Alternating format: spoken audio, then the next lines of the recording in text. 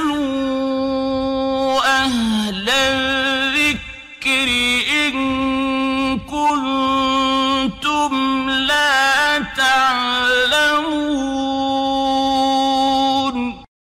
ওয়ালাইকুম সালাম রহমতুল্লাহ বরকাতহু আলহামদুলিল্লাহ ওয়াহদা ওসলাত ওসালাম আলা মাল্লা নবী বাদা সময় তো ভাই জিজ্ঞেস করছিলেন একটি আয়াত দিয়ে যে উলা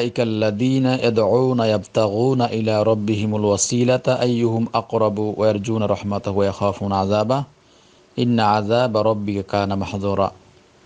এই আয়াতে কি কোনো অলির মাধ্যমে অসিলা করা বা রাসুল আলাইহি সাল্লামের মাধ্যমে অসিলা করা যাবে?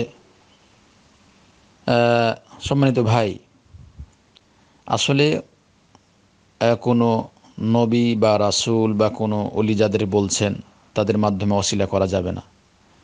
তাহলে অশিলার অর্থ আমাকে বুঝতে হবে যে অশিলাটা আসলে কি। অশিলার অর্থ হলো যে নৈকট্য অর্জন করা। নৈকট্য অর্জন কি করে করবেন? নৈকট্য অর্জন নৈকট্য অর্জন করা যায় কয়েক পদ্ধতিতে। তার ভিতরে অশিলা দুই প্রকার। শরীয়ত সম্মত অশিলা আর যেটা শরীয়ত সম্মত নয় সে অশিলা মানে যেটা শরীর সম্মত অশিলা করা যাবে আর একটা করা যাবে না। শরীয়ত সম্মত অশিলা হলো যে আল্লাহর উত্তম যেগুলো নাম রয়েছে, তার সিফত রয়েছে, তার মাধ্যমে আপনি অশিলা করেন। আল্লাহকে বলেন, ইয়া রহমান, হে আল্লাহ, তুমি করুণাময়, আমার উপর করুণ, করুণা করো। ইয়া রাজ্জাক আল্লাহ, তুমি রিজিক দাতা বিধায় আমাকে পবিত্র রিজিক দাও। আল্লাহকে বলেন, ইয়া গফার হে আল্লাহ, তুমি ক্ষমাশীল, বিধায় আমাকে ক্ষমা করো। এইভাবে এরপর আল্লাহ বলেন, ইয়া রাহিম, হে আল্লাহ, তুমি দয়াবান, বিধায় আমার উপর দয়া করো। এইভাবে আল্লাহর নামের মাধ্যমে অর্থ বুঝে আল্লাহর কাছে ওসিলা করা।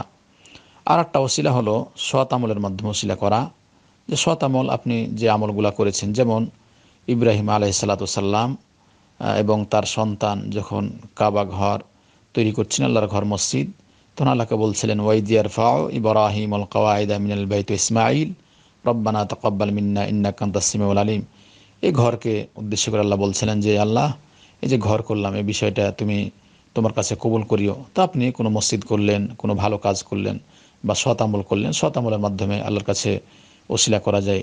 তিন নাম্বার সারি অশিলা হলো যে নেক ব্যক্তির দুয়ার মাধ্যমে মানে যিনি বেঁচে আছেন, মৃত্যু নয়, কাউকে জানছেন যে ভালো মানুষ, তিনি পরিষ্কার মানুষ, তাকে বললেন যে, আমার জন্য একটা দোয়া করিয়েন।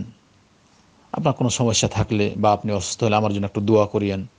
এইভাবে এইভাবে এইভাবে যেমন আল্লাহ রসুল সাল্লাহ সাল্লাম যখন ছিলেন, তখন সাহাবারা কোনো বিপদে পড়লে আল্লাহ রসুল সাল্লাহ সাল্লাম বলতেন আল্লাহ রসুল সাল্লাহ সাল্লাম আমাদের এই সমস্যা বা এই সমস্যা বা আমাদের এখন বৃষ্টি হচ্ছে না আপনি দোয়া করে দিন। আল্লাহ রসুল সাল্লাম দোয়া করলে বৃষ্টি হতো। আবার দেখায় বৃষ্টি এমন হচ্ছে যে সবগুলো ডুবে যাচ্ছে। আল্লাহ রসুল সাল্লাহ সাল্লাম বলতেন হ্যাঁ আল্লাহ রসুল সাল্লাহ সাল্লাম বৃষ্টির কারণে সবগুলো ডুবে যাচ্ছে, আপনি দোয়া করে যান বৃষ্টি থেমে যায়। এভাবে আল্লাহ রসুল্লাহ সাল্লাম দোয়া করলে বৃষ্টিও থেমে যেত।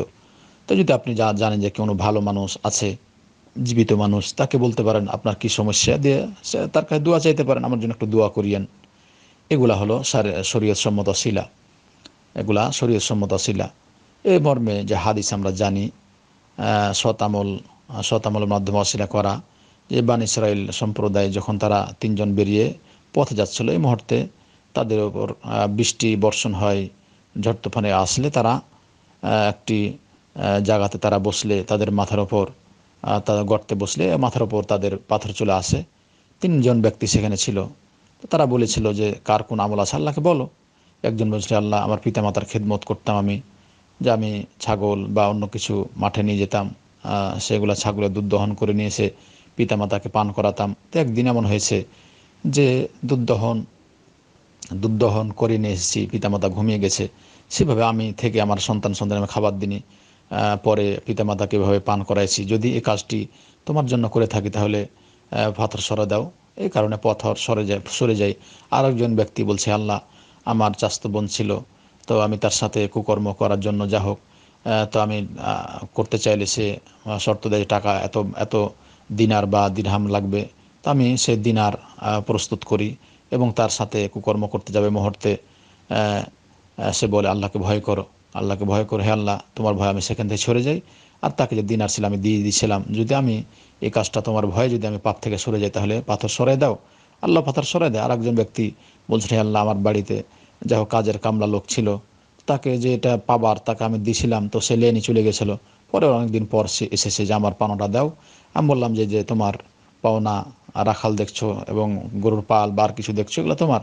সে বলছে, না, আমি এগুলো চাই না, আমি যেটা পাবো সেটা। বলছে, না, এটা তোমার জন্য, তোমার ইয়ে থেকে। তো হে আল্লাহ কাজটা যদি আমি তোমার জন্য করে থাকি, তাহলে এ পাথর সরে দেয় এগুলো শতামূল পিতামাতার খেদমত করা শতামল জিনা, বিবেচার থেকে নিজেকে রক্ষা করা শতামল আমানত রক্ষা করা, এগুলো শতামল শতামলের মাধ্যমে আল্লাহ তাদের রক্ষা করেছিলেন। এভাবে আপনি অশিলা করতে পারেন অশিলা করতে পারেন। জি, আর যেগুলা নিষেধ অশিলা যেমন আপনি বলতে পারেন, কবরের কাছে যদি বলেন যে আল্লাহ অমুক পীরের মাধ্যমে আব্দুল কাদের জেলানি বা বাইজিদ বুস্তামি এর মাধ্যমে তোমার কাছে অমুক জিনিস যাচ্ছে এগুলা করা যাবে না। এগুলা করা যাবে না। অথবা বলছেন, হে আল্লাহ আল্লাহ রসুল সাল্লাহ সাল্লামের মাধ্যমে আমি তোমার কাছে এগুলা চাচ্ছি, অমুক জিনিস চাচ্ছি এগুলাও করা যাবে না। অথবা বলছেন, আল্লাহ রসুল সাল্লাহ সাল্লামের সম্মানের মাধ্যমে তোমার কাছে চাচ্ছি, এগুলাও করতে পারবেন না। এইভাবে না এইভাবে না। আবার কেউ যায় কবর কাছে কেউ চায়, অমুক পীর বা অমুক আব্দুল কাদের জেলানি বা অমুক আমার কিছু দাও, হে আল্লাহ রসুল আসলাম কিছু দাও, এগুলো যদি বলে এরা বড়ো শিরিক হয়ে যাবে। এভাবে মৃত্যু ব্যক্তির মাধ্যমে বা কোনো জাতসত্তার মাধ্যমে এভাবে অশিলা করা যায় না। এগুলো শরীর সম্মত নয়। এগুলো শরীর সম্মত নয়। ওই আয়াতে বরং আল্লাহ নৈকট্য অর্জন করা যা বললাম, যে আল্লাহর যেগুলো উত্তম নাম রয়েছে উত্তম নামের মাধ্যমে আপনি আল্লাহর কাছে অশিলা করেন অশিলা করেন। আল্লাহ বলছেন অলিল্লাহ আসমাউল হসনা ফাদা বিহা। আল্লাহ সুবাহ তালার উত্তম উত্তম নাম রয়েছে। নামের মাধ্যমে আল্লাহকে ডাকেন আপনি। যেগুলো নাম যে বললাম এর আগে রাজ্জাক, এ গফার ইয়া রাহিম, ইয়া রহমান এভাবে আল্লাহকে ডাকেন এবং অর্থ বুঝে আল্লাহকে বলেন, আল্লাহকে আমাকে উপর রহম করো, আমার উপর দয়া করো, আমাকে রিজিক দাও, আমাকে ক্ষমা করো। আর শতামল বললাম যে শতামল আপনি যা করছেন, মসজিদ তৈরি করছেন, মাছ তৈরি করছেন অন্যায় কাছ থেকে নিজেকে রক্ষা করেছেন, পিতামাতার খেদমত করছেন, আমানত রক্ষা করেছেন, এগুলোর মধ্যে আপনি আল্লাহ কাছে হসিলা করেন, চান। কোনো ভালো মানুষ পেলেন, আপনি তাকে বলেন যদি আপনার কোনো সমস্যা হয়ে থাকে, দোয়া চান তার কাছে, যিনি জীবিত আছে।